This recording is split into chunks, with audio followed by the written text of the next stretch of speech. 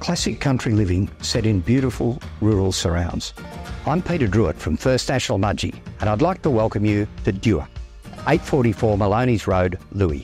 This is a wonderful small farm set between Mudgee and Rylstone, total of 268 acres, which is a combination of bushland and open, clear, quality grazing country.